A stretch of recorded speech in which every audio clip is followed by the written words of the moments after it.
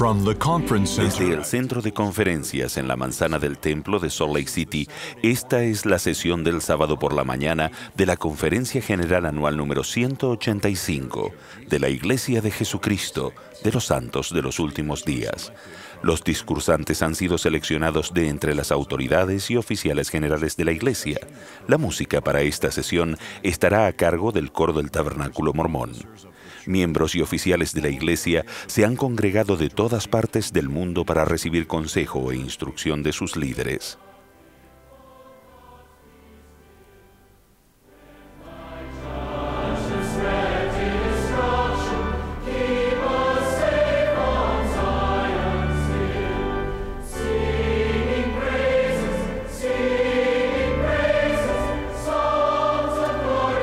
Esta transmisión es un servicio público de Bonneville Distribution. Se prohíbe cualquier reproducción, grabación, transcripción o uso de otra índole de este programa sin el debido consentimiento por escrito. El presidente Dieter F. Uchtdorf, segundo consejero de la primera presidencia de la Iglesia, dirigirá esta sesión. Queridos hermanos y hermanas, les damos la bienvenida a la primera sesión de la Conferencia General Anual número 185 de la Iglesia de Jesucristo de los Santos de los Últimos Días y extendemos una calurosa bienvenida a los miembros y amigos que participan en esta conferencia alrededor del mundo. Estamos gozosos de servir, eh, nos sentimos honrados de servir a nuestro Señor Jesucristo. El presidente Thomas S. Monson, quien preside esta sesión, me ha pedido a mí que dirija esta sesión. Recordamos y reconocemos a las autoridades generales y a los oficiales generales que estarán presentes en la conferencia.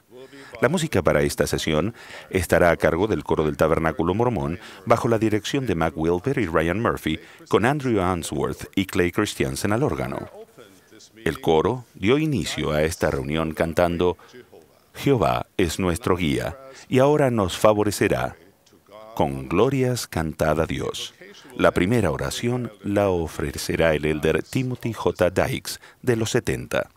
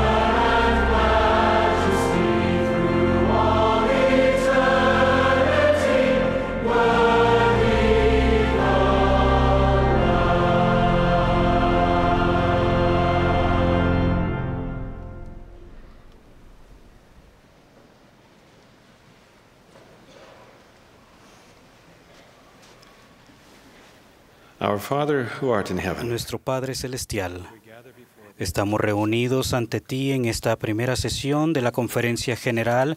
Estamos agradecidos a los profetas que viven aquí en la tierra, al presidente Monson, la primera presidencia y al quórum de los doce apóstoles, a los cuales honramos y sostenemos.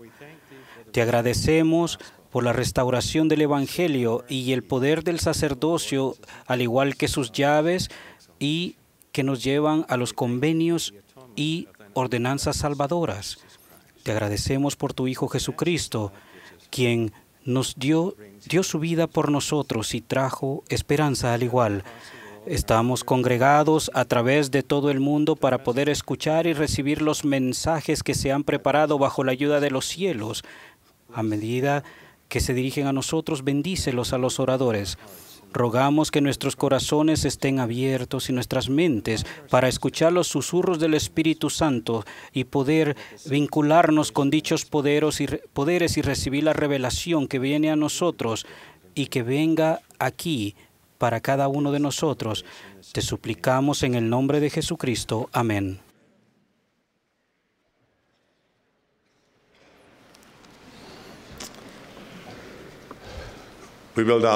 Ahora tendremos el privilegio de escuchar al presidente Henry B. Eyring, primer consejero de la primera presidencia. Después de sus palabras, el coro cantará, ¿En el mundo he hecho bien? Después del himno, escucharemos al presidente Boyka Packer, presidente del Quórum de los Doce Apóstoles. Cuando él termine, nos hablará la hermana Linda K. Burton, presidenta general de la Sociedad de Socorro.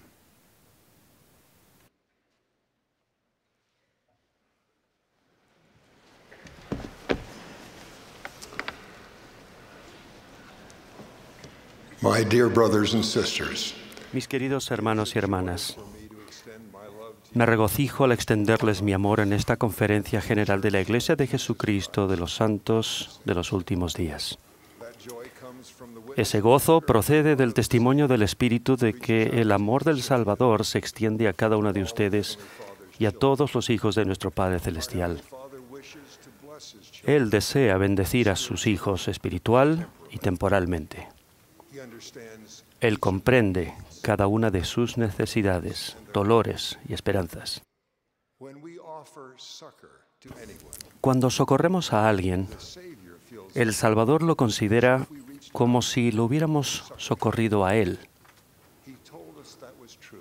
Nos dijo que era así cuando describió un momento futuro que todos viviremos cuando lo veamos al concluir nuestra vida en este mundo. Mi imagen mental de ese día ha sido cada vez más vívida durante los días que he orado y ayunado para saber qué decir esta mañana. El Señor describió esa entrevista futura a sus discípulos y ella describe lo que anhelamos con todo el corazón que nos suceda a nosotros. Entonces el rey dirá a los que estén a su derecha, venid, benditos de mi Padre, heredad el reino preparado para vosotros desde la fundación del mundo. Porque tuve hambre y me disteis de comer, tuve sed y me disteis de beber, fui forastero y me, me recogisteis, estuve desnudo y me cubristeis, enfermo y me visitasteis, estuve en la cárcel y me vinisteis a mí. Entonces los justos le responderán, diciendo, Señor, ¿cuándo te vimos hambriento y te sustentamos, o sediento y te dimos de beber? ¿Y cuándo te vimos forastero y te recogimos, o desnudo y te cubrimos? ¿O cuándo te vimos enfermo o en la cárcel y fuimos a verte?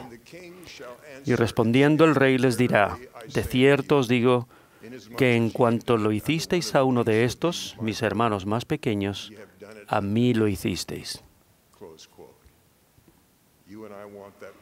Ustedes y yo queremos esa cálida bienvenida del Salvador, pero ¿cómo merecerla?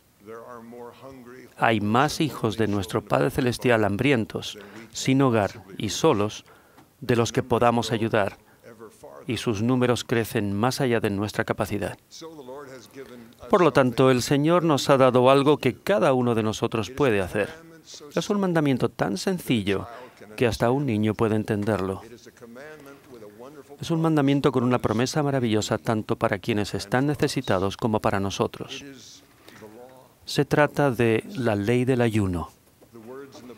Las palabras en el libro de Isaías son la descripción que el Señor hace del mandamiento y la bendición que está al alcance de los que pertenecemos a su iglesia. ¿No es más bien el ayuno que yo escogí, desatar las ligaduras de la maldad, soltar las cargas de opresión y dejar libres a los quebrantados y romper todo yugo? ¿No consiste en que compartas tu pan con el hambriento y a los pobres errantes alojes en tu casa? ¿En que cuando veas al desnudo lo cubras y no te escondas del que es tu propia carne?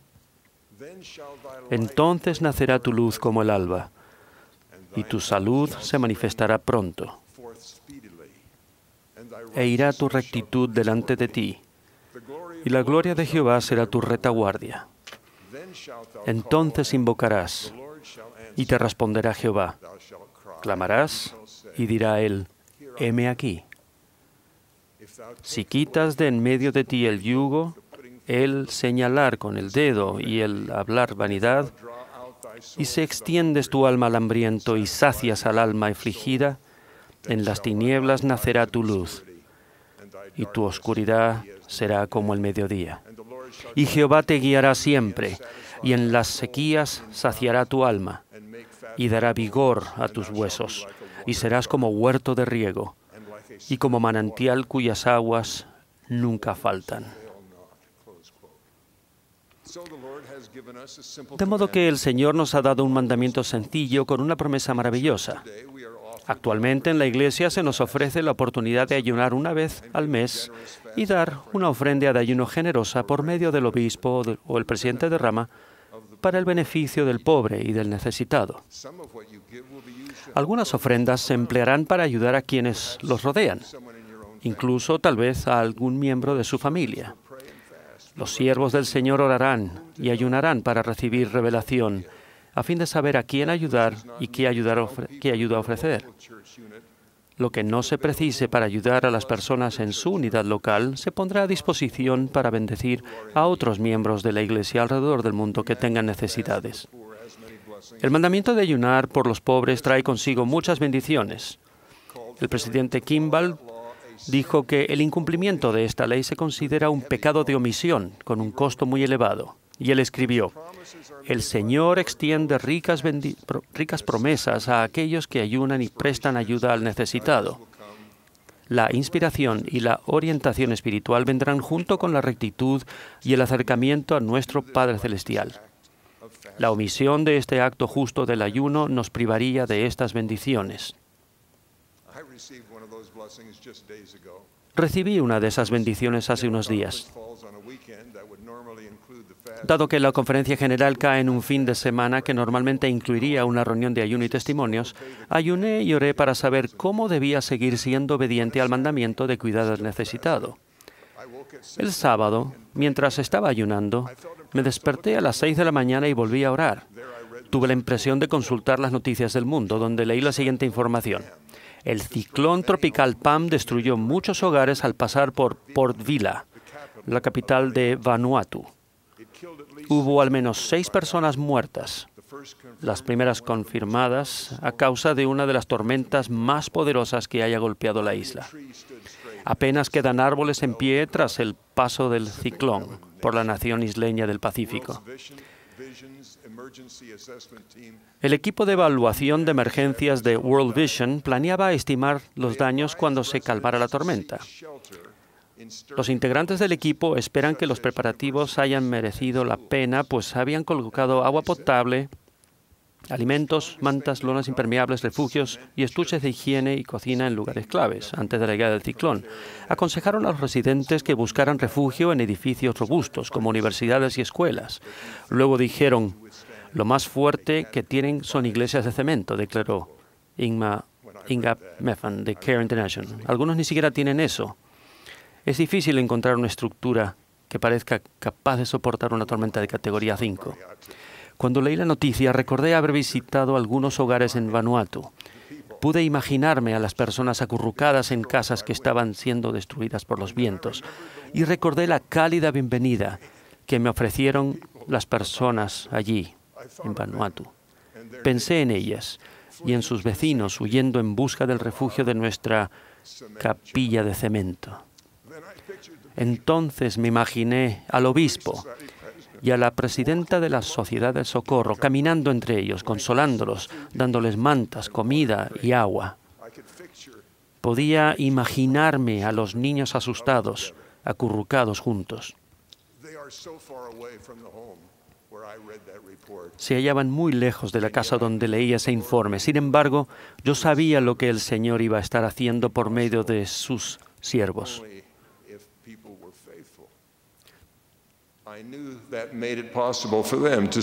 Sabía que lo que hacía posible que socorrieran a esos hijos del Padre Celestial eran las ofrendas de ayuno donadas generosamente por los discípulos del Señor que se hallaban lejos de ellos, pero cerca de Dios. Así que no esperé hasta el domingo y esa misma mañana llevé una ofrenda de ayuno a mi obispo. Sé que el obispo y la presidenta de la Sociedad de Socorro pueden usar esa ofrenda para ayudar a alguien de mi vecindario, pero los conozco bien. Sé que serán inspirados a elevar y edificar a personas a quienes aman en el nombre del Señor. Mi pequeña ofrenda tal vez no se necesite cerca de donde vivo con mi familia y puede que el excedente local de mis ofrendas jamás llegue a Vanuatu. Pero habrá otras tormentas y tragedias en el mundo que afectarán a personas a las que el Señor ama y cuyos pesares Él siente. Parte de la ofrenda de ustedes y de la mía de este mes se empleará para ayudar a alguien en algún lugar cuyo alivio el Señor sentirá como si fuera suyo. La ofrenda de ayuno de ustedes hará más que alimentar y vestir cuerpos. Sanará y cambiará corazones. El fruto de una ofrenda voluntaria puede ser el deseo en el corazón de quien ha recibido la ofrenda de ayuda a otras personas necesitadas. Eso sucede en todo el mundo. Ocurrió en la vida de la hermana Abid Turay, de Sierra Leona, donde una guerra civil que se desencadenó en 1991 azotó el país durante años. Sierra Leona ya era uno de los países más pobres del mundo. Durante la guerra no estaba claro quién controlaba el país. Los bancos cerraron, las oficinas gubernamentales fueron destruidas, la policía era ineficiente contra las fuerzas rebeldes y cundía el caos, la muerte y el pesar. Decenas de miles de personas perdieron la vida y más de dos millones tuvieron que huir de sus hogares para evitar la matanza. Aún durante esa época, la Iglesia de Jesucristo de los Santos de los Últimos Días creció. Una de las primeras ramas se organizó en la ciudad donde vivía la hermana Turay. Su esposo fue el primer presidente de Rama y sirvió como presidente de distrito durante la guerra civil. Cuando la hermana Turay recibe invitados en su casa ahora, le encanta mostrarles dos tesoros que conservó en la, de la guerra. Una camisa de rayas blancas y azules que recibió en un paquete de ropa usada donada por miembros de la iglesia y una manta que ahora está gastada y llena de agujeros. Ella dice, esta camisa es la primera prenda de vestir que recibí. Me la ponía para ir a trabajar, era muy buena, me hacía sentir muy hermosa. Yo no tenía otra ropa. Esta manta nos mantuvo abrigados a mí y a mis hijos durante la guerra. Cuando los rebeldes vinieron a atacarnos, esto fue lo único que pude agarrar al huir hacia los arbustos para ocultarnos. Así que la llevábamos con nosotros, nos mantenía abrigados y a salvo de los mosquitos. La hermana Turay menciona su gratitud por un presidente de misión que se abría camino por un país devastado por la guerra con dinero en el bolsillo. Ese dinero de donaciones de ofrendas de ayuno de alguien como ustedes permitió a los santos comprar alimentos que la mayoría de los habitantes del país de Sierra Leona no podían adquirir dado lo prohibitivo de sus precios. La hermana Turay dice que de quienes fueron lo bastante generosos como para hacer donaciones que a ellos les permitieron sobrevivir, dice, cuando pienso en la gente que hizo eso, siento que fueron enviados por Dios pues un visitante de los Estados Unidos estuvo con Abby recientemente. Mientras estaba con ella, se dio cuenta que había un juego de escrituras sobre la mesa. Percibió que eran un tesoro. Estaban bien marcadas y tenían anotaciones en las columnas. Las páginas estaban gastadas. algunas incluso rotas, y la cubierta estaba despegada del libro. Tomó las escrituras en la mano y dio vuelta las páginas con delicadeza. Al hacerlo, halló una copia amarilla de un formulario de donativos y pudo ver cómo en un país donde un dólar vale su peso en oro, Abiturey había pagado un dólar de diezmo, un dólar al fondo misional y un dólar como ofrenda de ayuno para quienes, en sus propias palabras, eran realmente pobres. El visitante cerró las escrituras de la hermana Turay y pensó, mientras se hallaba con esa fiel madre africana que estaba en Tierra Santa. Así como el recibir la, bendición de, la ofrenda de ayuno de ustedes y la mía puede cambiar corazones, lo mismo ocurre cuando ayunamos por otras personas. Hasta un niño puede sentirlo.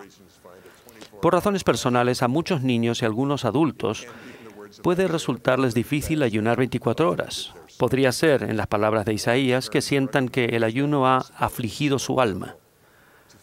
Los padres prudentes reconocen esa posibilidad y tienen cuidado de seguir el consejo del presidente Joseph F. Smith. Es mejor enseñarles el principio y dejarles observarlo cuando tengan la edad suficiente para escoger con inteligencia. Recientemente aprecié la bendición de ese consejo. Uno de mis nietos había descubierto que un ayuno de 24 horas supera su capacidad de resistencia, pero aún así, sus sabios padres plantaron dicho principio en su corazón. Uno de sus amigos de la escuela perdió a un primo en un accidente mortal. Mi nieto le preguntó a su madre durante el domingo de ayuno, más o menos a la misma hora que en el pasado había sentido que continuar el ayuno era demasiado arduo, si su apesadumbrado amigo se sentiría mejor si él seguía ayunando. Su pregunta era la confirmación del consejo del presidente Joseph F. Smith. Mi nieto había llegado al punto donde no solo comprendía el principio del ayuno, sino que se le había arraigado en el corazón. Había llegado a sentir que su ayuno y sus oraciones podían traer como resultado una bendición de Dios para alguien necesitado. Si vive el principio con, con suficiente frecuencia, sentirá en su vida los maravillosos efectos que promete el Señor. Tendrá la bendición espiritual del poder para recibir inspiración y mayor capacidad para resistir la tentación. Desconocemos todas las razones por las que Jesucristo fue al desierto y a ayunar y orar pero sí sabemos al menos uno de los efectos. El Salvador resistió por completo las tentaciones de Satanás de usar incorrectamente su poder divino. Tal vez el breve tiempo que ayunemos cada mes y la pequeña cantidad que ofrezcamos a los pobres produzca solo una pequeña parte del cambio en nuestra naturaleza para no tener más el deseo de hacer lo malo. Sin embargo, existe una gran promesa cuando hacemos todo lo razonablemente posible para orar, ayunar y hacer una donación para las personas necesitadas. Entonces nacerá tu luz como el alba, y tu salud se manifestará pronto. E irá tu rectitud delante de ti, y la gloria de Jehová será tu retaguardia. Entonces invocarás y te responderá Jehová. Clamarás y dirá él, heme aquí. Ruego que reclamemos esas grandes bendiciones para nosotros y para nuestra familia.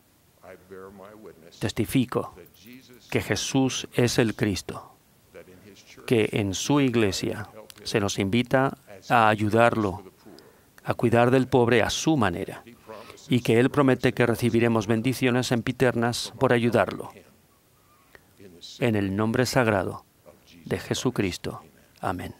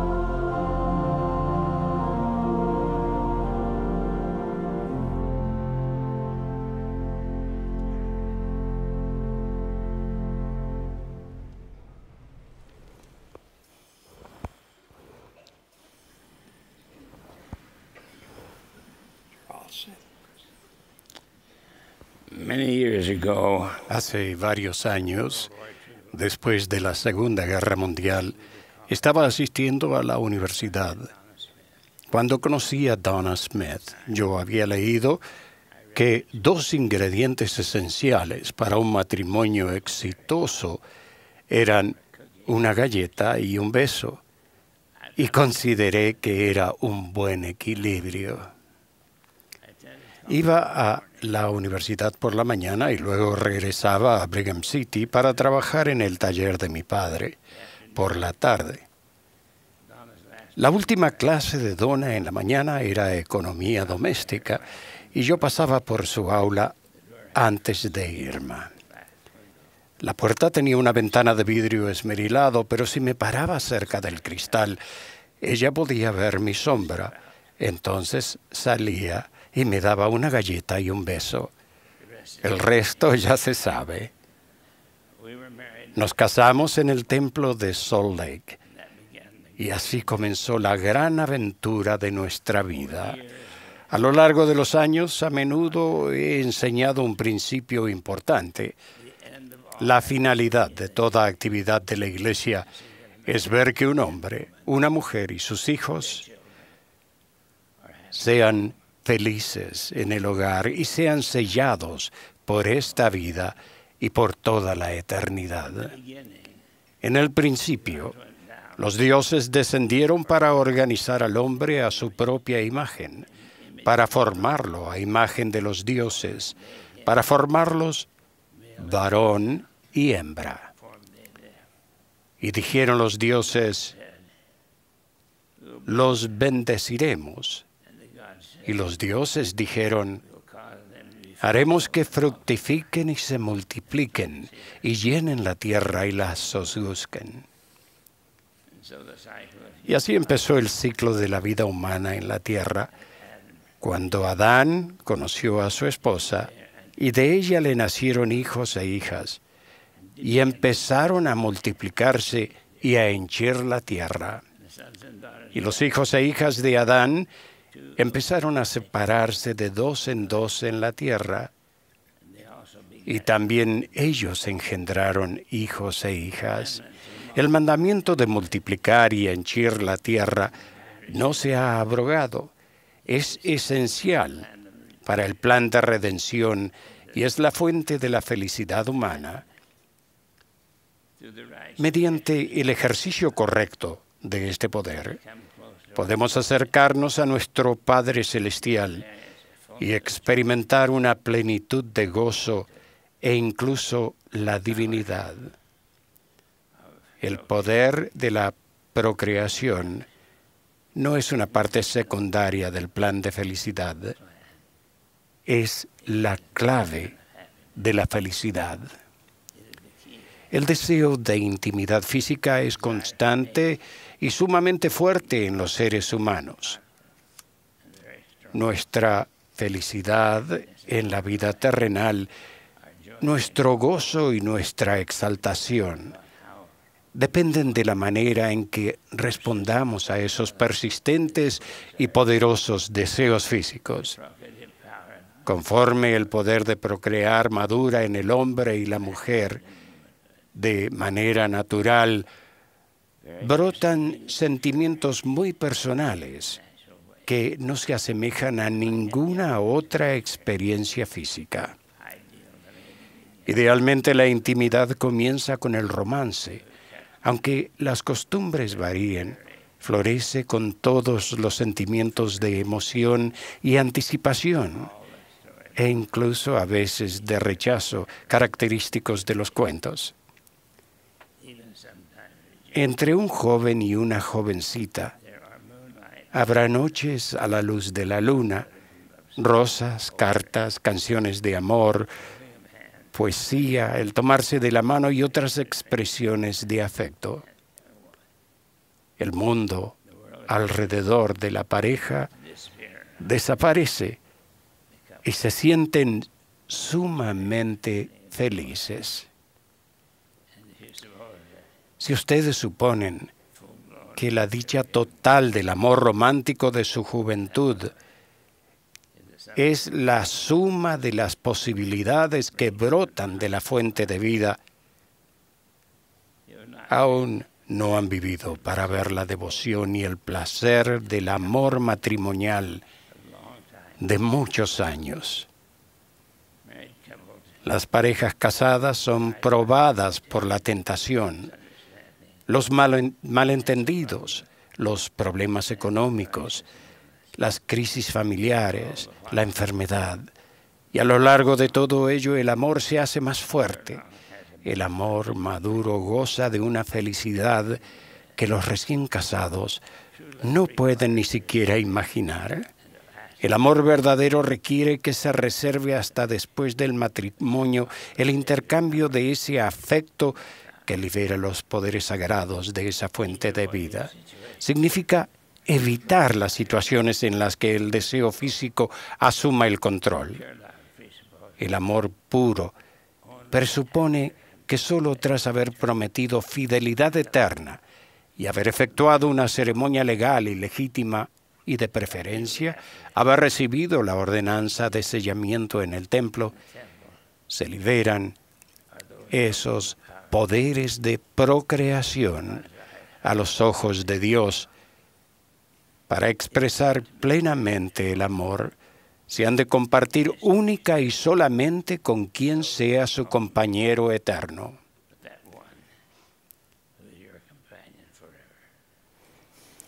Cuando se cumple dignamente ese proceso, combina los sentimientos físicos, emocionales y espirituales más exquisitos y exaltados que se relacionan con la palabra amor. Esa parte de la vida no tiene igual, no tiene equivalente en toda la experiencia humana.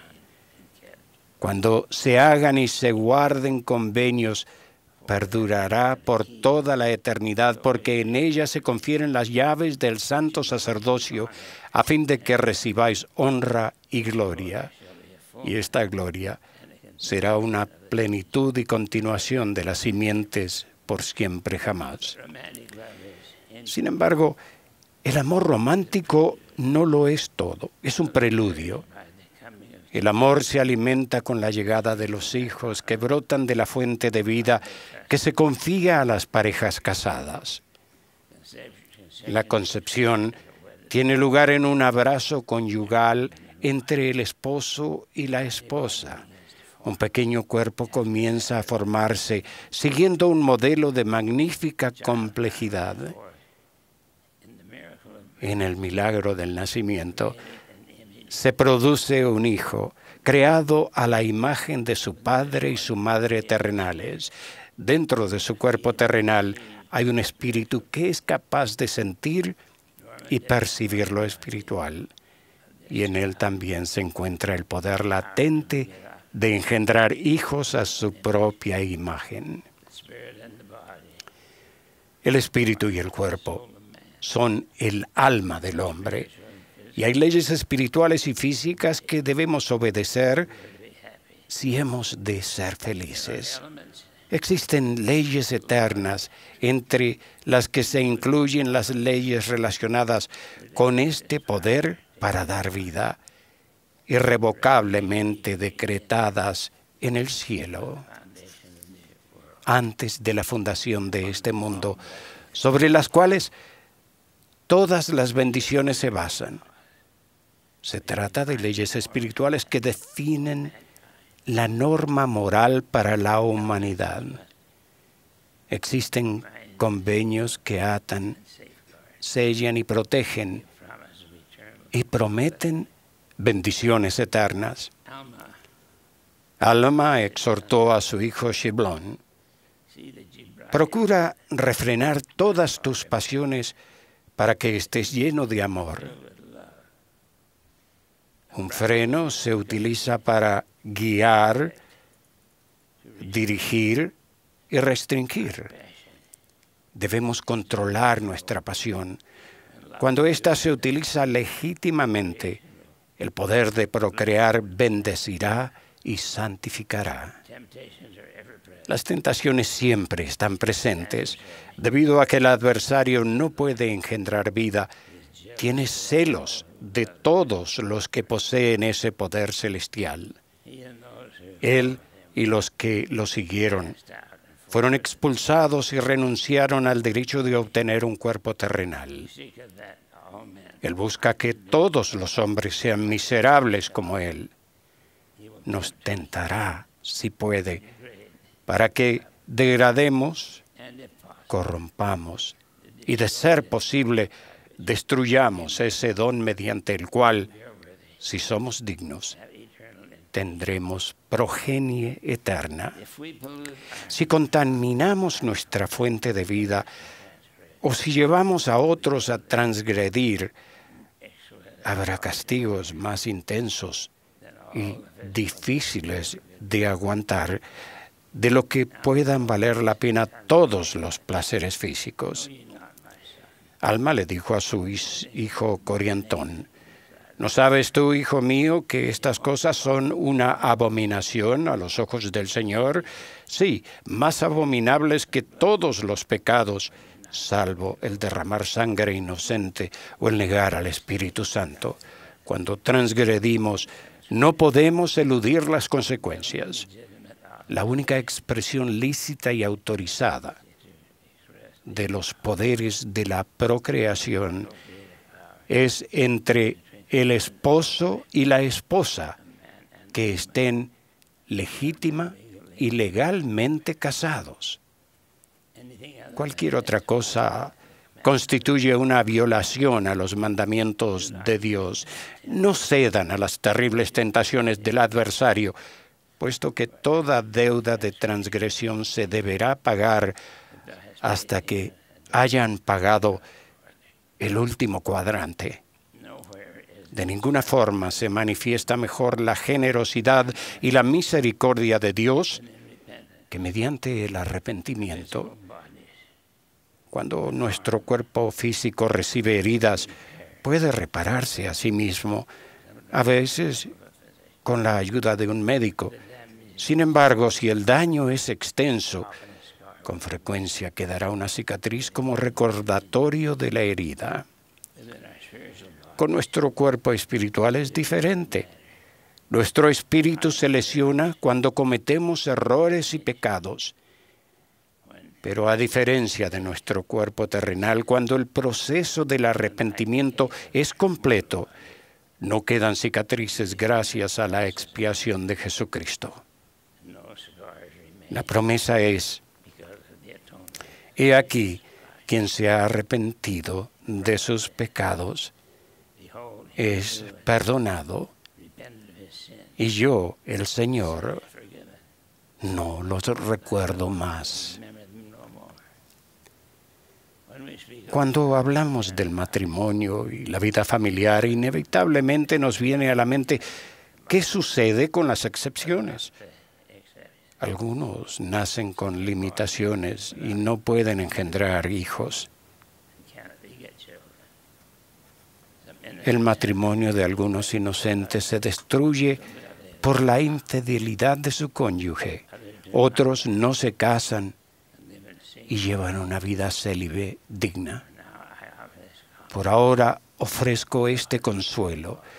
Dios es nuestro Padre todo el amor y la generosidad que se manifiesta en un Padre terrenal ideal se magnifica en Él, que es nuestro Padre y nuestro Dios, más allá de toda capacidad que tenga la mente terrenal para comprender.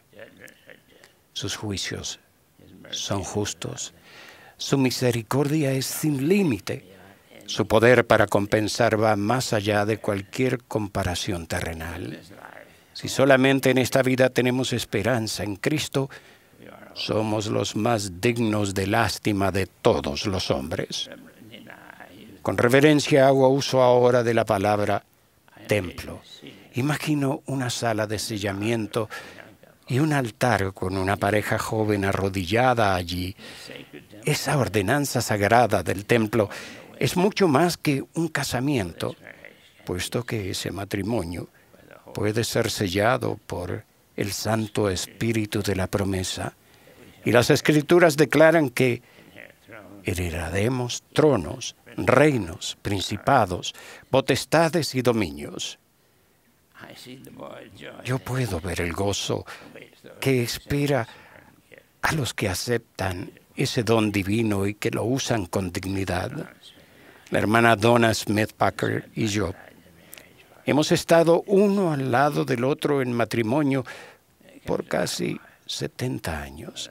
En lo que concierne a mi esposa, la madre de nuestros hijos, no tengo palabras para expresarme.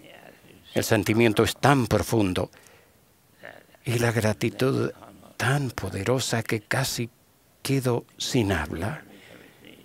La mayor recompensa que hemos recibido en esta vida y en la venidera son nuestros hijos y nuestros nietos.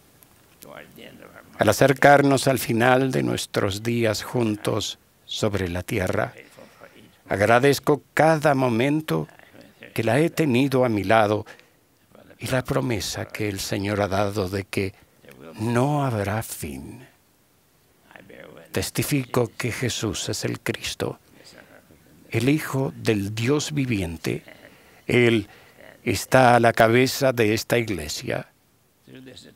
Mediante su expiación y el poder del sacerdocio, las familias que comienzan en la vida terrenal podrán estar unidas por las eternidades.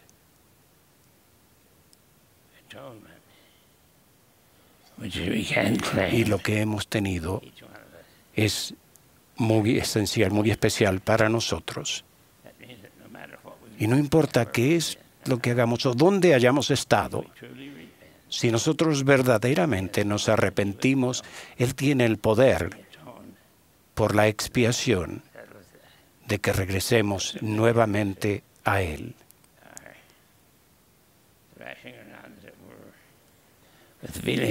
Y yo, no podemos seguir con el espíritu de que no estamos seguros de lo que estamos haciendo. La expiación nos ayuda en todo y nos da una oportunidad para hacer y para vivir eternamente. Yo estoy tan agradecido por las cosas que el Señor Jesucristo me ha dado, por el poder de la procreación, por el poder de la redención, por la expiación, una expiación que nos lava limpios, que nos viste de un ropaje limpio, no importa lo que hayamos hecho. La expiación puede si seguimos hasta el fin, darnos la recompensa y nosotros debemos de seguir ese camino. Y yo les dejo mi testimonio de que el sacrificio de nuestro Señor es una cosa sumamente importante y que como individuos nos ha ayudado y si nos arrepentimos, el Señor no lo recordará jamás. La expiación ha limpiado nuestros cuerpos y alma. Y el Señor no recordará nuestros pecados más. En el nombre de Jesucristo. Amén.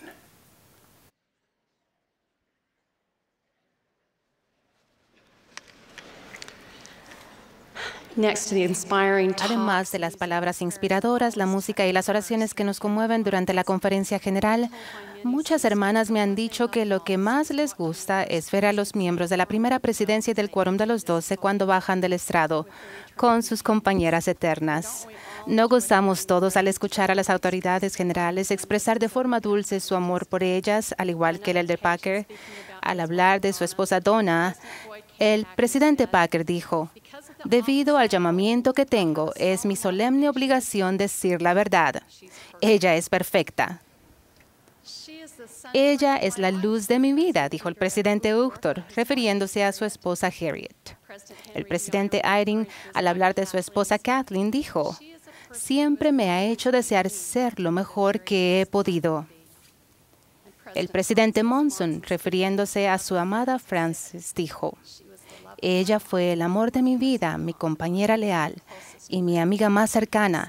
El decir que la extraño no llega a expresar lo profundo de mis sentimientos. También quisiera expresar mi amor por mi amado compañero Craig. Ha sido un don preciado para mí. Refiriéndose a mi esposo, una sagrada y preciada frase de mi bendición patriarcal promete que mi vida y la vida de mis hijos estarán bien resguardadas bajo su cuidado. Es claro para mí que Craig es el cumplimiento de esa promesa. Al utilizar las palabras de Mark Twain, dijo que la vida sin Craig no sería vida. Lo amo con todo el corazón y el alma. Hoy deseo honrar a los esposos, padres, hermanos, hijos y tíos que saben quiénes son y que hacen lo mejor por cumplir con sus funciones decretadas por Dios en la proclamación sobre la familia, entre ellas el presidir con rectitud, proveer lo necesario para sus familias y protegerlas. Sepan que soy muy consciente de que los temas de la paternidad, la maternidad y el matrimonio pueden ser preocupantes para muchos. Sé que algunos miembros sienten que sus hogares nunca alcanzarán lo que ellos perciben ser lo ideal. Muchos sufren debido al abandono, al abuso, las adicciones y las tradiciones y cultura incorrectas. No justifico las acciones de hombres o mujeres que a propósito o por ignorancia causaron dolor, angustia y pesar en sus hogares. Pero hoy deseo hablar de otra cosa. Estoy convencida de que el hombre nunca es más atractivo para su esposa que cuando sirve en su función divina como digno poseedor del sacerdocio, principalmente en el hogar. Me encantan y creo estas palabras que el presidente Packer dirigió a los esposos y padres dignos. Habrá ocasiones en el que el único escudo que haya entre su familia y la malicia del adversario será ese poder. A principio de año asistí al funeral de un hombre común y corriente, pero extraordinario. El tío de mi esposo. Uno de los hijos del tío Don compartió una experiencia que tuvo cuando era pequeño, poco después de que sus padres compraran su primera casa. Debido a que tenían cinco niños a quienes mantener, no había suficiente dinero para colocarla cerca. Tomando seriamente una de sus funciones divinas como protector de la familia, el tío Don colocó unas cuantas estacas de madera, tomó una cuerda y las amarró alrededor del jardín. Entonces llamó a sus hijos, les mostró las estacas y la cuerda y les explicó que si permanecían dentro de esa cerca, estarían a salvo. Al acercarse a la casa, las maestras visitantes observaron con incredulidad a cinco niños pequeños obedientemente de pie junto a la cerca, mirando con tristeza una pelota que había rebotado fuera de los límites. Uno de los pequeños corrió a llamar a su papá, quien en respuesta corrió y recuperó la pelota. Más tarde, en el funeral, el hijo mayor, con lágrimas en los ojos, expresó que todo lo que había anhelado en la vida era parecerse a su querido padre. El presidente Benson dijo, Oh esposos y padres en Israel, ustedes pueden hacer tanto por la salvación y exaltación de su familia. Recuerden su llamamiento sagrado de padre en Israel, el llamamiento más importante en esta vida y por toda la eternidad, un llamamiento del cual nunca serán relevados deben ayudar a crear un hogar donde el Espíritu del Señor pueda morar. ¿Cuánto se aplican esas palabras proféticas a la actualidad? Para los hombres del convenio debe ser difícil vivir en un mundo que no solo minimiza su papel y responsabilidades divinos, sino que también envía mensajes falsos de lo que significa ser un hombre de verdad. Un mensaje falso es, lo que importa soy yo. En el otro extremo está el mensaje burlón y degradante de que los esposos y los padres ya no son necesarios. Les ruego que no escuchen las mentiras de Satanás. Él ha renunciado al privilegio sagrado de convertirse en esposo y padre, debido a que Él está celoso de quienes tienen los sagrados privilegios que Él nunca tendrá. Su intento es que todos los hombres sean miserables como Él. Hermanos y hermanas, nos necesitamos unos a otros, como mujeres y hombres que guardan los convenios. Necesitamos elevarnos unos a otros y ayudarnos a ser el pueblo que el Señor desea que seamos. Necesitamos trabajar juntos para elevar a la nueva generación y ayudarla a alcanzar su potencial divino como herederos de la vida eterna. Podemos hacer como el elder Hales y su esposa Mary han hecho. Tú me elevas y yo te elevaré a ti, y así ascenderemos juntos. Sabemos mediante las escrituras que no es bueno que el hombre esté solo. Por eso nuestro Padre Celestial creó una ayuda idónea para él. La frase ayuda idónea significa una ayuda adecuada, digna de él o semejante a él. Por ejemplo, nuestras dos manos son similares, pero no son exactamente iguales. De hecho, son lo opuesto, pero se complementan y son apropiadas la una para la otra. Al trabajar juntas son más fuertes. En un capítulo sobre las familias, el manual de la iglesia establece, la naturaleza masculina y femenina de los espíritus es tal que se completan el uno al otro. Observen que dice se completan el uno al otro no que compiten el uno con el otro. Estamos aquí para ayudarnos, elevarnos y regocijarnos el uno con el otro al tratar de ser mejores. La hermana Barbara B. Smith sabiamente enseñó, hay mucha más felicidad cuando podemos regocijarnos con los éxitos ajenos que con los nuestros. Cuando procuramos completar y no competir, es mucho más fácil animarnos los unos a los otros. Cuando era una madre joven de varios niños, al final del lleno de pañales, platos y de impartir disciplina, nadie cantaba con más entusiasmo que yo la canción de la primaria Cuando papá vuelve. Me apena admitir que no siempre estaba de buen humor cuando Craig entraba feliz después de un día de trabajo. Siempre nos saludaba con un abrazo y un beso y convertía los días difíciles y desastrosos en momentos felices con papá. Ojalá hubiera estado menos preocupada con listas interminables de cosas para hacer y me hubiera centrado más sabiamente en las cosas de mayor importancia, como lo hizo él. Me hubiera detenido más a menudo y hubiera gozado del sagrado tiempo en familia y le hubiera agradecido a él más seguido por bendecir nuestra vida. No hace mucho una fiel hermana compartió una profunda preocupación por la cual había estado orando. Se trataba de algunas hermanas en su barrio. Me dijo cuánto le entristecía ver que en ocasiones ellas hablaban de sus esposos o se dirigían a ellos de manera irrespetuosa, aún frente a sus hijos. Me contó que cuando ella era joven había deseado y orado fervientemente para encontrar y casarse con un digno poseedor del sacerdocio y formar un hogar feliz. Había crecido en un lugar donde su madre llevaba el control y su padre cedía ante las exigencias de ella para mantener la paz en el hogar. Esta hermana sentía que debía haber algo mejor. No lo había visto en el hogar en el que creció, pero al orar con fervor en busca de guía, el Señor la bendijo para saber cómo crear un hogar con su esposo donde el Espíritu pudiese morar. He estado en ese hogar y puedo testificar que es un lugar santo. Hermanas y hermanos, ¿con cuánta frecuencia nos hablamos con tiernos acentos a conciencia? Podemos evaluarnos al hacernos unas preguntas. Al adaptarlas un poco, estas preguntas se pueden aplicar a la mayoría de nosotros, ya sea que estemos casados o solteros o cualquiera que sea la situación. ¿Cuándo fue la última vez que elogié con sinceridad a mi cónyuge, ya sea en privado o en presencia de nuestros hijos? Número dos. ¿Cuándo fue la última vez que agradecí, expresé amor o pedí fervientemente con fe por él o ella en oración? Número tres. ¿Cuándo fue la última vez que me abstuve de decir algo que sabía que podría causarle dolor? Número cuatro.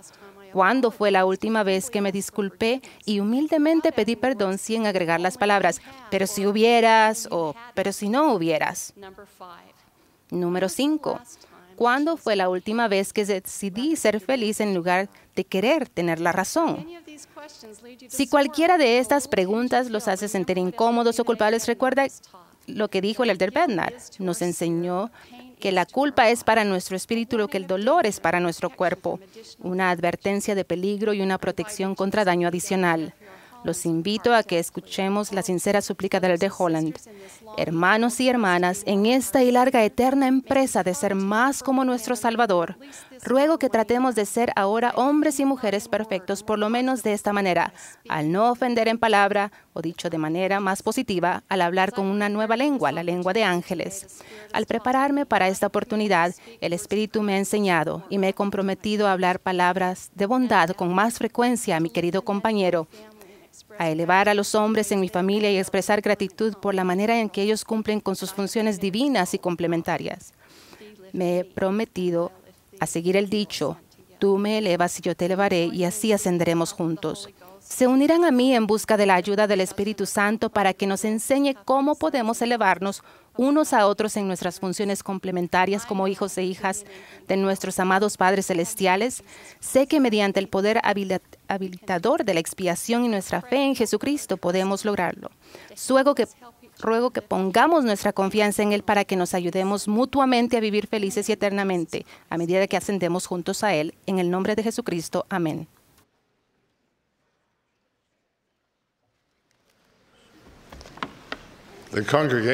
Ahora la congregación se pondrá de pie y se unirá al coro para cantar Bandera de Sion.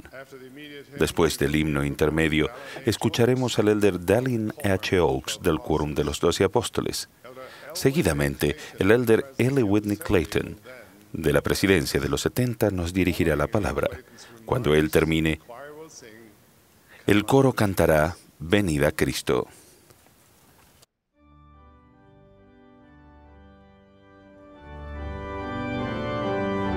Esta es la conferencia general anual número 185 de la Iglesia de Jesucristo de los Santos de los Últimos Días.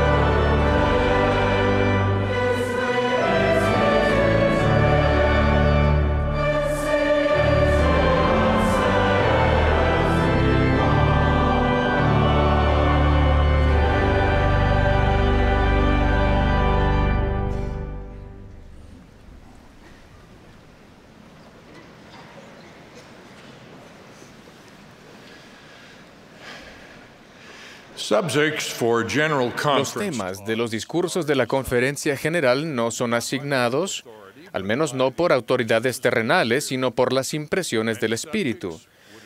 Las inquietudes terrenales que todos tenemos nos sugieren muchos temas. Pero al igual que Jesús no enseñó cómo superar las dificultades ni la opresión política de su época, Él inspira a sus siervos modernos a que hablen acerca de lo que sus seguidores podemos hacer para reformar nuestra vida personal a fin de prepararnos para regresar a nuestro hogar celestial. En este fin de semana de Pascua he sentido la impresión de hablarles en cuanto a las bellas enseñanzas de una de las parábolas de Jesús. La parábola del sembrador es una de las pocas parábolas que se encuentran en los tres evangelios sinópticos. Además, pertenece a un grupo aún más reducido de parábolas que Jesús explicó a sus discípulos. La semilla que se sembró era la palabra del reino, la palabra o la palabra de Dios, las enseñanzas del Maestro y de sus siervos. Los diferentes tipos de terreno donde cayeron las semillas representan las maneras diferentes en que las personas recibimos y obedecemos dichas enseñanzas. Así, las semillas que cayeron junto al camino no han alcanzado el terreno mortal donde pueden crecer, son como las enseñanzas que caen en un corazón endurecido o sin preparación. No diré nada más en cuanto a ellas. Mi mensaje concierne a aquellos que nos hemos comprometido a ser seguidores de Cristo. ¿Qué hacemos con las enseñanzas del Salvador en nuestra vida? La parábola del sembrador nos advierte de las circunstancias y actitudes que podrían impedir que cualquiera que haya recibido la semilla del Evangelio produzca una buena cosecha. Algunos, por ejemplo, cayeron sobre pedregales, donde no había mucha tierra, y brotó pronto, porque la tierra no era profunda. Pero cuando salió el sol se quemó, y por cuanto no tenía raíz, se secó.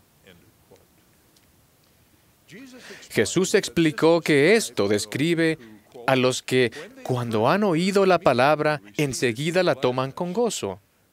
Pero como no tienen raíz en sí, cuando viene la tribulación o la persecución por causa de la palabra, enseguida se ofenden. ¿Qué hace que los que escuchan la palabra no tengan raíz en sí? Esta es la circunstancia de los nuevos miembros, que solo están convertidos a los misioneros o a las muchas y atractivas características de la iglesia o a distintos beneficios de ser miembros de la iglesia. Al no estar arraigados en la palabra, cuando llega la oposición se secan y se marchitan. Incluso quienes se han criado en la iglesia, miembros desde hace mucho tiempo, pueden llegar a deslizarse hacia una situación en la que no tienen raíz en sí mismos. He conocido a algunos de ellos, miembros cuya conversión al Evangelio de Jesucristo no es firme ni duradera. Si no estamos arraigados a las enseñanzas del Evangelio ni seguimos sus prácticas con regularidad, Cualquiera de nosotros puede desarrollar un corazón de piedra, el cual es un pedregal para las semillas. El alimento espiritual es necesario para la supervivencia espiritual, especialmente en un mundo que se está alejando de la creencia en Dios y de los términos absolutos de lo bueno y lo malo. En una era dominada por el Internet, el cual amplifica mensajes que amenazan la fe, Debemos exponernos más frecuentemente a la verdad espiritual con el fin de fortalecer nuestra fe y permanecer arraigados en el Evangelio. Jóvenes, si esta enseñanza les resulta demasiado general, aquí tienen un ejemplo específico. Si cuando se reparten los emblemas de la Santa Cena, ustedes están enviando textos, o cuchicheando, jugando videojuegos, o haciendo cualquier otra cosa para negarse a ustedes mismos la nutrición espiritual, estarán cortando sus raíces espirituales y colocándose en un terreno pedregoso. Ustedes mismos se están haciendo vulnerables a marchitarse cuando surjan tribulaciones, como el aislamiento, la intimidación o el ridículo. Esto también se aplica a los adultos. Otro destructor potencial de las raíces espirituales, acelerado por la tecnología actual, aunque no es exclusivo de ella, es el tener una visión del Evangelio o de la Iglesia como si se viera por el ojo de una cerradura. Esta perspectiva limitada se centra en una doctrina, práctica o defecto percibido en, un líder en particular e ignora el panorama completo del plan del Evangelio y los frutos personales y colectivos de su cosecha. El presidente Hinckley realizó una descripción de uno de los aspectos de este ver por el ojo de la cerradura. Habló a una audiencia de BYU acerca de unos comentaristas políticos sumamente indignados en un noticiero de aquella época. Con mañas estudiadas derramaron el vinagre de la injuria y la ira. Sin duda, concluyó, no hay mejor época ni lugar para ser un talentoso sensacionalista vinagrado. Por el contrario, para estar bien arraigados en el Evangelio, debemos ser moderados y mesurados con la crítica y procurar siempre la perspectiva más amplia de la majestuosa obra de Dios. Jesús enseñó que otra parte cayó entre espinos, y crecieron los espinos y la ahogaron, y no dio fruto. Explicó que estos son los que son sembrados entre espinos, los que oyen la palabra, pero los afanes de este mundo y el engaño de las riquezas y las codicias de otras cosas entran y ahogan la palabra, y, ésta se hace infructuosa. Se trata sin duda de una advertencia a la que todos debemos dar oído. Me referiré primero al engaño de las riquezas. En donde sea que nos encontremos en nuestra trayectoria espiritual, todos somos tentados por esto. Cuando las actitudes o las prioridades están fijas en la compra, el uso o la posesión de pertenencias, lo llamamos materialismo. Se ha dicho y escrito mucho acerca del materialismo que hay muy poco que agregar. Quienes creen en lo que se conoce como la teología de la prosperidad padecen del engaño de las riquezas. La posesión de riqueza o grandes ingresos no es una señal de favor divino, ni su ausencia es un síntoma de desaprobación celestial.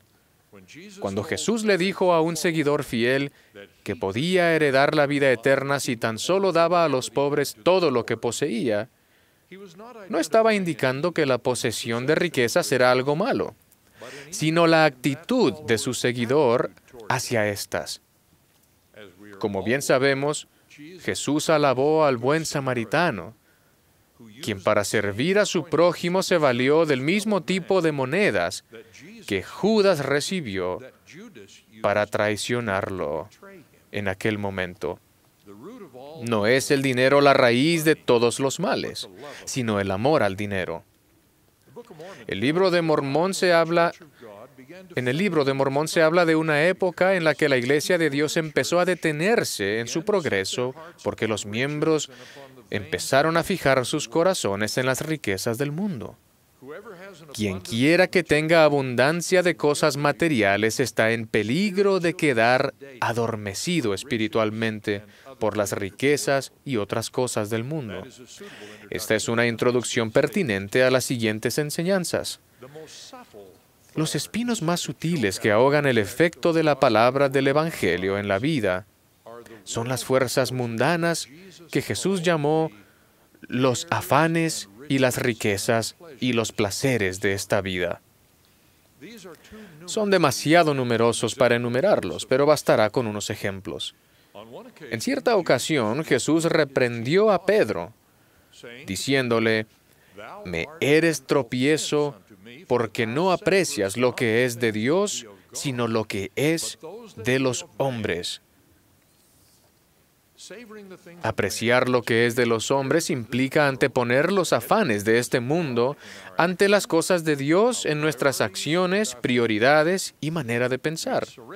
Nos rendimos ante los placeres de esta vida cuando nos volvemos adictos, lo cual afecta el preciado y divino don del albedrío, cuando nos seducen las distracciones triviales, lo cual nos aleja de lo que tiene importancia eterna, y cuando adoptamos la mentalidad de tener derecho a todo, lo cual afecta al crecimiento personal que nos hace merecedores de nuestro destino eterno. Nos superan los afanes de esta vida cuando nos paraliza el miedo al futuro, lo cual obstaculiza nuestro avance con fe, confiando en Dios y en sus promesas. Hace 25 años mi estimado profesor de BYU, Hugh Nibley, habló en cuanto al peligro de rendirse ante los afanes del mundo. Durante una entrevista se le preguntó si la condición del mundo y nuestro deber de difundir el Evangelio hacían que se buscara alguna manera de adaptar lo que hacemos en la iglesia al mundo. Su respuesta fue, ese siempre ha sido el kit de la cuestión con la iglesia, ¿cierto? Uno debe estar dispuesto a ofender, a arriesgarse. Ahí es donde entra la fe. Se supone que nuestro compromiso es una prueba. Se supone que es algo difícil y poco práctico ante los ojos del mundo. Esta prioridad del Evangelio quedó afirmada en esa reunión en BYU hace unos meses cuando un estimado líder católico, Charles J. Chaput, arzobispo de Filadelfia, quien, refiriéndose a las preocupaciones que comparten la comunidad de la Iglesia y la comunidad católica, como temas del matrimonio y la familia, la naturaleza de nuestra sexualidad, la santidad de la vida humana y la urgencia de la libertad religiosa, dijo esto. Deseo subrayar otra vez la importancia de verdaderamente vivir aquello que profesamos creer. Eso debe ser una prioridad no solo en nuestra vida personal y familiar, sino en nuestras congregaciones, en nuestras decisiones políticas, en nuestros acuerdos comerciales, en el trato que dispensamos al pobre, es decir, en todo lo que hagamos. Y por eso es, esto es la razón por la que es importante, dijo. Aprendan de la experiencia del catolicismo. Los católicos creemos que nuestra vocación es ser la levadura de la sociedad. Pero existe una delgada línea divisoria entre ser la levadura de la sociedad y ser digeridos por la sociedad. Ciertamente la advertencia del Salvador respecto a cuidarse de los afanes del mundo para que no ahoguen la palabra de Dios en nuestra vida nos insta a mantener nuestras prioridades fijas o el corazón fijo en los mandamientos de Dios y los líderes de su iglesia. Los ejemplos del Salvador podrían hacer que pensáramos en esta parábola como en la parábola de los tipos de tierra. La idoneidad de la tierra depende del corazón de cada uno de nosotros que queda expuesto a la semilla del Evangelio. Dependiendo de la propensión de cada uno a las enseñanzas espirituales, algunos corazones se han endurecido, otros se han tornado en piedra por el desuso, y otros están fijos en las cosas del mundo. La parábola del sembrador concluye con la descripción que el Salvador hace de la semilla que cayó en buena tierra y dio fruto en diversas medidas. ¿Cómo podemos prepararnos para hacer esa buena tierra y para tener una cosecha así de buena? Jesús explicó que la buena tierra son los que con corazón bueno y recto retienen la palabra oída y dan fruto con paciencia. Tenemos la semilla de la palabra del Evangelio. Depende de cada uno de nosotros el establecer prioridades y el hacer aquello que cause que nuestra tierra sea buena. Debemos procurar estar firmemente arraigados al Evangelio de Jesucristo. Logramos esta conversión orando, leyendo las Escrituras, sirviendo y participando de la Santa Cena con regularidad para tener su Espíritu con nosotros. También debemos procurar ese gran cambio de corazón, el cual reemplaza los malos deseos y las preocupaciones egoístas con el amor de Dios y el deseo de servirlo a Él y a sus hijos. Testifico de la verdad de estas cosas y testifico de nuestro Salvador Jesucristo, cuyas enseñanzas indican el camino y cuya expiación lo hace todo posible. En el nombre de Jesucristo. Amén.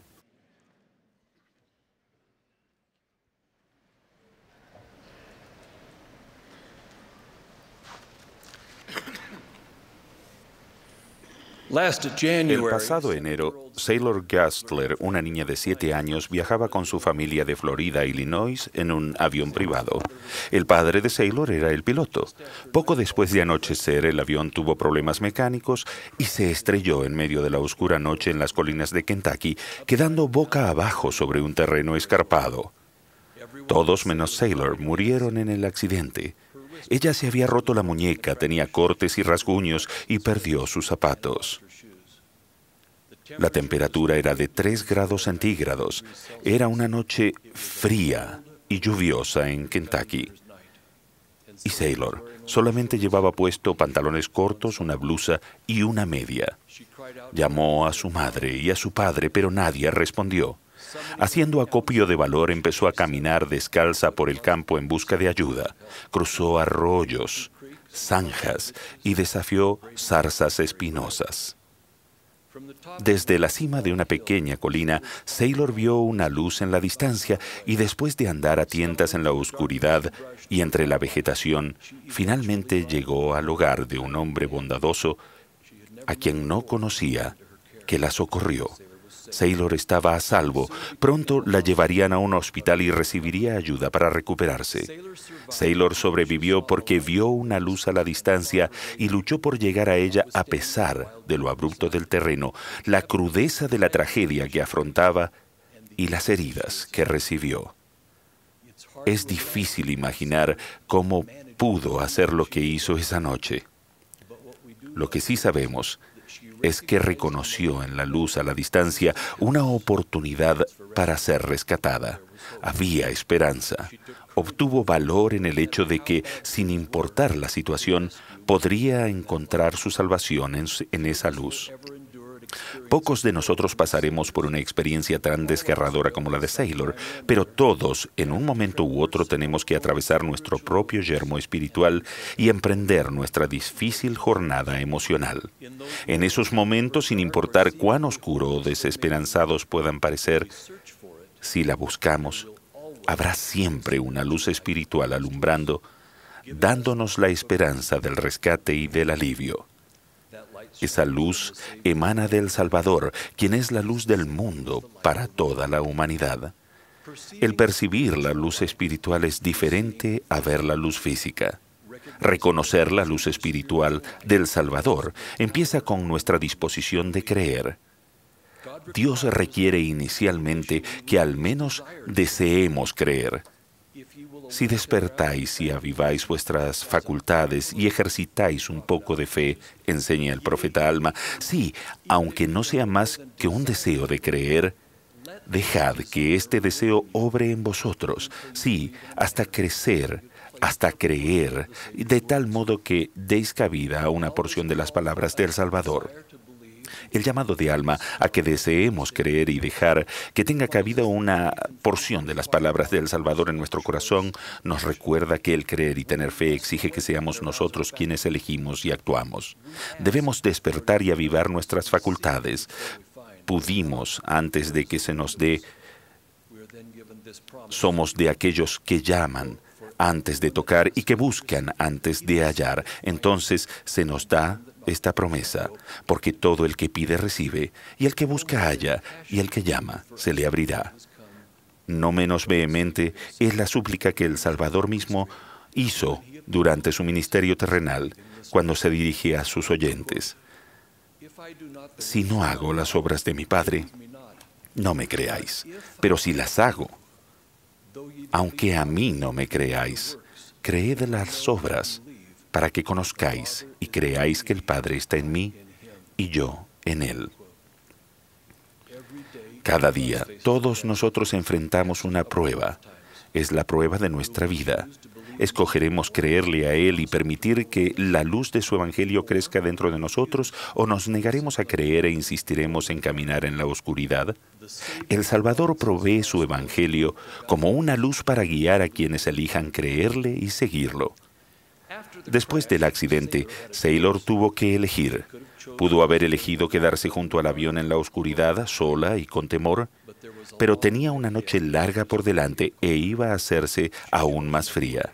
escogió otro camino, trepó la colina y de allí vio una luz en el horizonte. Gradualmente, a medida que se abrió camino en la noche hacia la luz, la luz se hizo más brillante. Aún así, debe haber habido momentos en que no la veía. Tal vez desapareció la luz de su vista cuando se encontraba en algún barranco o detrás de los árboles o arbustos, pero ella siguió, siguió adelante. Cada vez que veía la luz tenía constancia de que estaba en el camino correcto. Todavía no sabía con precisión lo que era la luz, pero siguió caminando hacia ella basándose en lo que sabía, confiando y esperando que la vería en algún momento otra vez si seguía en esa dirección. El hacerlo fue lo que salvó su vida. Nuestra vida también es así. Tal vez haya momentos en que nos sintamos heridos, estemos cansados o nuestra vida parezca oscura y fría. Quizás haya momentos en que no veamos ninguna luz en el horizonte y queramos darnos por vencidos. Si estamos dispuestos a creer, si deseamos creer, si elegimos creer, entonces las enseñanzas y el ejemplo del Salvador nos mostrarán el camino hacia adelante elijamos creer. Así como Sailor tuvo que creer que encontraría seguridad en esa luz distante, también nosotros debemos elegir abrir nuestro corazón a la realidad divina del Salvador, a su luz eterna y su misericordia sanadora. Los profetas a través de las épocas nos han animado e incluso implorado que creamos en Cristo. Sus exhortaciones reflejan un hecho fundamental. Dios no nos obliga a creer. En vez de ello, nos invita a creer al enviar profetas y apóstoles vivientes que nos enseñen al proporcionarnos las escrituras y al señalarnos el camino por medio de su espíritu. Nosotros somos quienes deben elegir aceptar esas invitaciones espirituales, elegir ver con los ojos internos la luz espiritual mediante la cual Él nos llama. La decisión de creer es la elección más importante que haremos. Afecta toda toda nuestra vida y todas nuestras decisiones. Dios no nos obliga a creer más de lo que nos obliga a guardar los mandamientos a pesar de su perfecto deseo de bendecirnos. Aún así, su llamado a que creamos en Él, a ejercer esa partícula de fe y dar lugar a sus palabras, permanece vigente. Como el Salvador dijo, Testifico que el Padre manda a todos los hombres en todo lugar que se arrepientan y crean en mí. El creer, el testimonio y la fe no son principios pasivos, no suceden por sí. El creer es algo que elegimos, tenemos esperanza, obramos y nos sacrificamos por ello. No llegaremos a creer en el Salvador y su Evangelio de manera accidental, al igual que no oramos ni pagamos el diezmo por casualidad. Elegimos activamente creer, del mismo modo que elegimos guardar otros mandamientos. Pongamos la creencia en acción.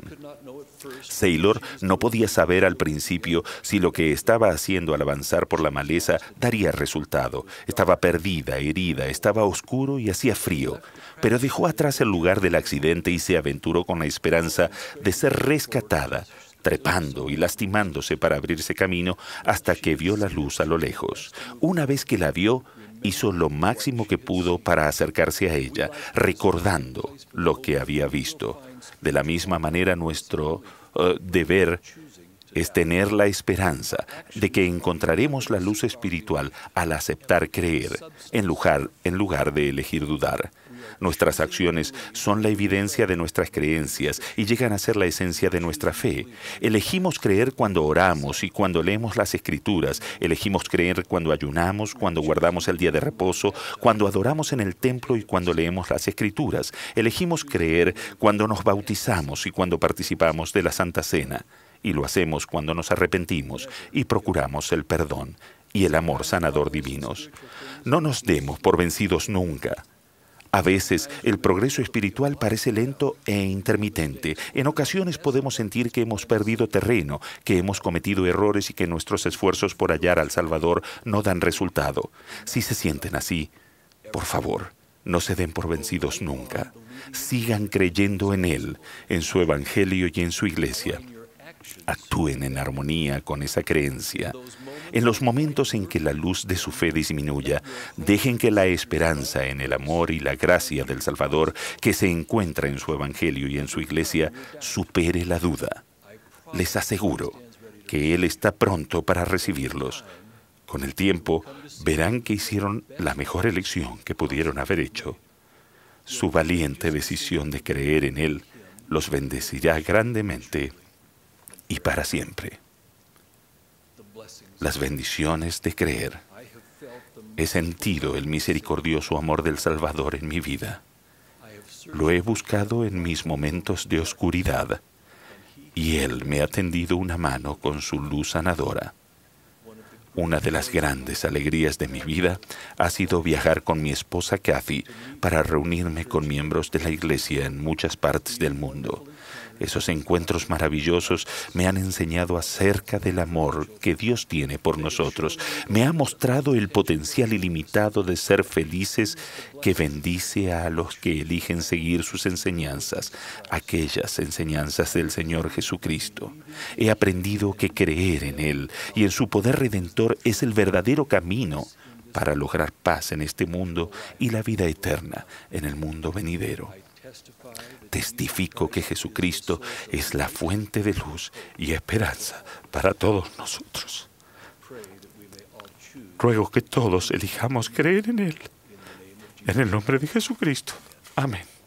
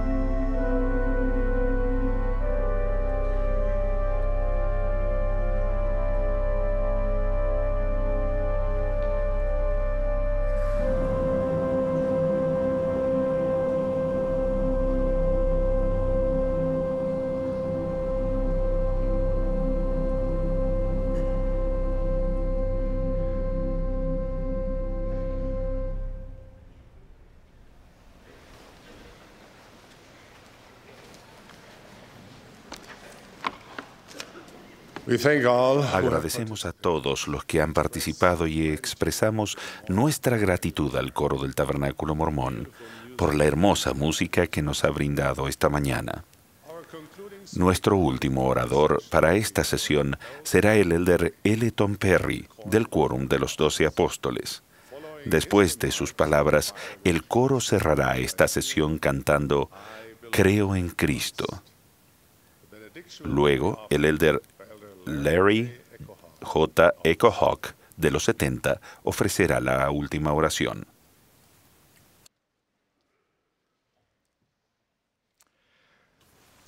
El pasado noviembre tuve el privilegio de que me invitaran, junto con el presidente Henry B. Eyring y el obispo Gerald Cosé, a asistir a un diálogo sobre el matrimonio y la familia que tuvo lugar en el Vaticano, en Roma. También asistieron representantes de 14 religiones distintas y de seis de los siete continentes. Todos fueron invitados a expresar sus creencias sobre lo que sucede con la familia en el mundo de hoy. El Papa Francisco inició la primera sesión con esta declaración. Vivimos en una cultura de lo provisorio, en el cual siempre más personas renuncian al matrimonio como compromiso público. Esta revolución en las costumbres y en la moral a menudo ha hecho que el estandarte de la libertad se agite, pero en realidad ha traído pérdida espiritual y material a un sinnúmero de seres humanos, especialmente a los más necesitados y vulnerables. Son siempre ellos los que sufren más. Al referirse a las nuevas generaciones, dijo que es importante que no se dejen envolver por la mentalidad dañina de lo temporal y sean revolucionarios con el valor para buscar un amor fuerte y duradero, es decir, ir en contra de la corriente. Es lo que se debe hacer. Su declaración fue seguida de presentaciones y análisis con líderes religiosos en torno al tema del matrimonio entre un hombre y una mujer por tres días. Al escuchar a la más amplia variedad imaginable de líderes religiosos de todo el mundo, los escuché coincidir el uno con el otro y expresar apoyo mutuo a sus creencias en cuanto a la santidad de la institución del matrimonio y la importancia de la familia como la unidad básica de la sociedad. Me sobrevino una fuerte sensación de armonía y unidad con ellos. Hubo muchos que notaron y mencionaron esa unidad y lo hicieron de distintas formas. Una de mis favoritas fue cuando un erudito musulmán de Irán citó textualmente dos párrafos de nuestra proclamación sobre la familia. Durante el diálogo observé que cuando personas de distintas creencias, denominaciones y religiones se unen en el tema del matrimonio y la familia, también se unen en los valores, la fidelidad y el compromiso que se relacionan con la unidad familiar. Me resultó extraordinario ver cómo las prioridades que se centran en la familia tuvieron más peso que las diferencias políticas, económicas y religiosas. Cuando se trata del amor por el cónyuge y las esperanzas, preocupaciones y sueños en cuanto a los hijos, todos somos iguales. Fue maravilloso estar en reuniones en las que presentadores de todo el mundo expresaron de manera universal sus sentimientos sobre la importancia del matrimonio entre un hombre y una mujer. Cada discurso fue seguido de testimonios por parte de otros líderes religiosos. El presidente Henry B. Eyring ofreció el último testimonio de esta asamblea. Él testificó con poder sobre lo bello de un matrimonio sólido y sobre nuestra creencia en la bendición prometida de familias eternas. El testimonio del presidente Irving fue una manera propicia de cerrar esos tres días especiales. Tal vez se pregunten, si la mayoría percibió esa similitud de prioridades y creencias sobre la familia, si todas esas religiones coinciden en lo que debe ser el matrimonio y en el valor que se debe dar al hogar y a las relaciones familiares, entonces ¿en qué nos diferenciamos? ¿Cómo se distingue y en qué forma la Iglesia de Jesucristo de los Santos de los últimos días es diferente al resto del mundo? Aquí está la respuesta. Si bien fue maravilloso ver y percibir que tenemos mucho en común con el resto del mundo en cuanto al concepto de la familia, nosotros tenemos la perspectiva eterna del Evangelio restaurado. Lo que el Evangelio restaurado aporta al tema del matrimonio y la familia es tan vasto y relevante que nunca está de más recalcarlo. Para nosotros es un tema eterno. Llevamos el compromiso y la santidad del matrimonio a un nivel más alto debido a nuestras creencias y conocimiento de que las familias existieron antes de la creación del mundo y que continúan en la eternidad. El texto de la canción de la primaria las familias pueden ser eternas por Ruth Gardner enseña esta doctrina de una manera sencilla, poderosa y hermosa.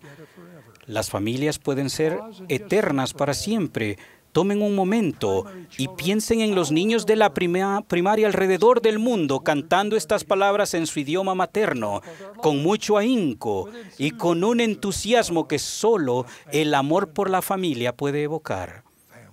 Eternas pueden ser las familias por el divino plan. Yo quiero heredar el celestial hogar con la mía por la eternidad. Toda la teología del Evangelio restaurado gira en torno a la familia y al nuevo y sempiterno convenio del matrimonio. En la Iglesia de Jesucristo de los Santos de los Últimos Días creemos en una vida premortal, en la que todos vivimos como hijos literales de Dios, nuestro Padre Celestial, proqueados en espíritu, Creemos que fuimos y que aún somos integrantes de su familia. Creemos que los vínculos matrimoniales y familiares pueden continuar más allá del sepulcro y que los matrimonios que efectúan los que poseen la autoridad de vida en sus templos seguirán siendo válidos en el mundo venidero. En nuestras ceremonias matrimoniales se quitan las palabras hasta que la muerte los separe, y en su lugar se dice, así por el tiempo como por toda la eternidad. Creemos que las familias tradicionales fuertes no solo son la unidad básica de una sociedad, economía y de una cultura de valores estables, sino que también son la unidad básica de la eternidad, del reino y el gobierno de Dios. Creemos que la organización y el gobierno de los cielos se establecerán en torno a la familia y a todos los familiares. Es debido a nuestra creencia que el matrimonio y la familia son eternos y que como iglesia deseamos ser líderes y participantes en movimientos mundiales que los fortalezcan. Sabemos que no solo las personas que llevan una vida religiosa activa tienen valores y prioridades en común en cuanto a matrimonios perdurables y a relaciones familiares fuertes. Gran cantidad de personas no religiosas han llegado a la conclusión de que el matrimonio y un estilo de vida familiar dedicados son la forma más prudente, económica y más feliz de vivir. A nadie se le ha ocurrido nunca una manera más eficaz de criar a la siguiente generación que en un hogar de padres casados con hijos. ¿Por qué deben ser importantes el matrimonio y la familia en todas partes? Encuestas de la opinión pública muestran que el matrimonio es aún el estado ideal y la esperanza entre la mayoría de los grupos de todas las edades, incluso entre los de la generación del milenio, donde tanto se escucha sobre el permanecer soltero la libertad personal y la cohabitación en lugar del matrimonio. Lo cierto es que una gran mayoría a nivel mundial aún desea tener hijos y establecer familias fuertes. Después de que nos casamos y tenemos hijos, el verdadero punto en común que tiene toda la humanidad se hace aún más evidente. Como personas que creemos en la familia sin importar dónde vivamos o cuáles sean nuestras creencias religiosas, afrontamos muchas de las mismas dificultades, hacemos los mismos ajustes y tenemos las mismas esperanzas, preocupaciones y sueños por nuestros hijos, como lo dijo el columnista del periódico New York Times, David Brooks. A las personas no les va mejor si se les otorga la máxima libertad personal de hacer lo que les plazca. Les va mejor cuando tienen que atender compromisos que trascienden sus intereses personales, compromisos con la familia, con Dios, su trabajo y el país. Un problema es que mucho de lo que el mundo comparte en los medios de comunicación y entretenimiento no coinciden con las prioridades y los valores de las mayorías. Por algún motivo, mucho de lo que se presenta en la televisión, películas, la música e Internet muestra casos típicos de una minoría que supuestamente representa a la mayoría. La inmoralidad y amoralidad que van desde la violencia gráfica al sexo recreativo se representan como lo normal y pueden causar que los que tienen valores convencionales se sientan fuera de época o anticuados. En una época que es dominada por los medios de comunicación e Internet, Nunca ha sido tan difícil criar hijos responsables y mantener unidos a los matrimonios y a las familias. A pesar de lo que sugieran los medios de comunicación y entretenimiento y a pesar del inminente declive en la tendencia hacia el matrimonio y la familia por parte de algunos, la gran mayoría de los seres humanos aún cree que el matrimonio debe ser entre un hombre y una mujer cree en la fidelidad en el matrimonio y en los votos matrimoniales que dicen en la salud como en la enfermedad y hasta que la muerte nos separe. De vez en cuando tenemos que recordar, como se me recordó a mí en Roma, el hecho maravilloso, tranquilizante y consolador que el matrimonio y la familia son aún la aspiración y el ideal de la mayoría de las personas y que no estamos solos en esta creencia. Nunca ha sido más difícil hallar un equilibrio entre el empleo, la familia y las necesidades personales que como lo es en la actualidad. Como iglesia nuestro deseo es ayudar en todo lo que podamos para formar y apoyar matrimonios y familias fuertes. Es por eso que la Iglesia participa en forma activa en diversas coaliciones y actividades interreligiosas y ofrece dirección en ellas a fin de fortalecer a la familia. Compartimos nuestros valores centrados en la familia en los medios de comunicación y en las redes sociales. También lo compartimos a través de nuestros registros genealógicos con todas las naciones. Deseamos que nuestra voz se escuche en oposición a los estilos de vida falsos y alternativos que tratan de reemplazar la organización familiar que Dios mismo estableció. También deseamos que nuestra voz se escuche al afirmar el gozo y la realización que brinda la familia tradicional Debemos continuar proyectando esa voz por todo el mundo y declarar por qué el matrimonio y la familia son tan importantes, por qué el matrimonio y la familia realmente importan y por qué siempre será así. Mis hermanos y hermanas, El Evangelio restaurado se centra en el Evangelio, el matrimonio y la familia.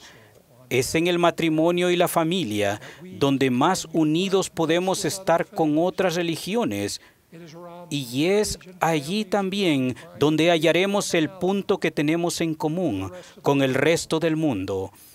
Es en cuanto al matrimonio y a la familia que la Iglesia de Jesucristo de los Santos de los Últimos Días tiene la mayor oportunidad de ser una luz sobre una colina.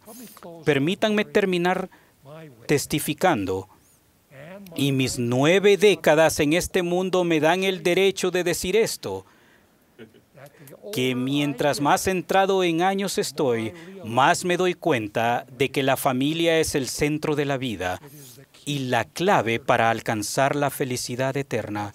Doy gracias por mi esposa, hijos, nietos y bisnietos, y por todos mis primos, suegros, cuñados y mi amplia familia que hacen que mi vida sea plena y sí, aún eterna.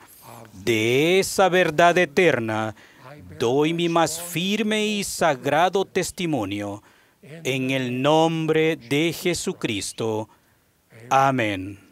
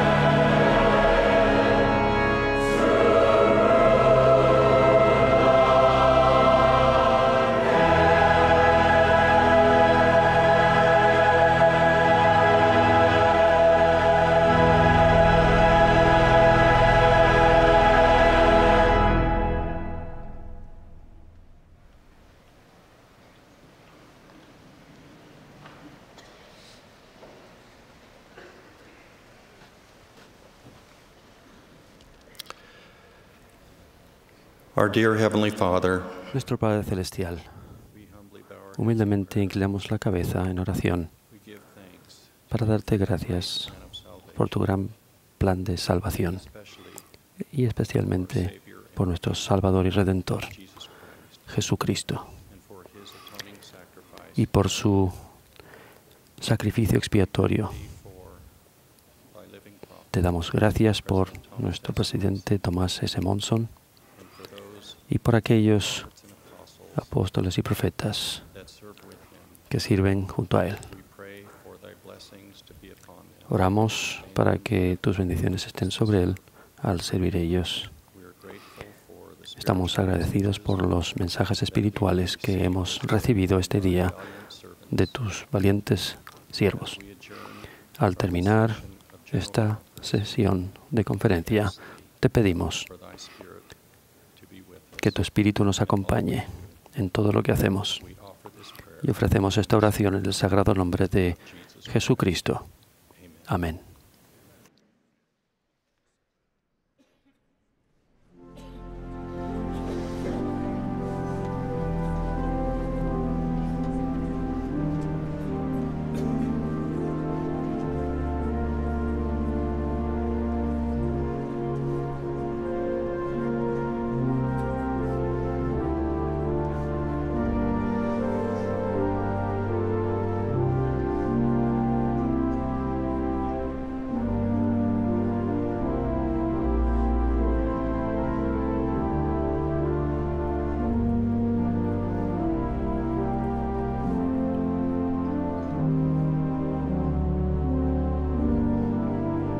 Esta ha sido una transmisión de la Conferencia General Anual número 185 de la Iglesia de Jesucristo de los santos de los últimos días. Los discursantes fueron seleccionados de entre las autoridades y oficiales generales de la Iglesia, y la música estuvo a cargo del coro del Tabernáculo Mormón. Esta transmisión fue un servicio público de Bonneville Distribution. Se prohíbe cualquier reproducción, grabación, transcripción o uso de otra índole de este programa sin el debido consentimiento por escrito.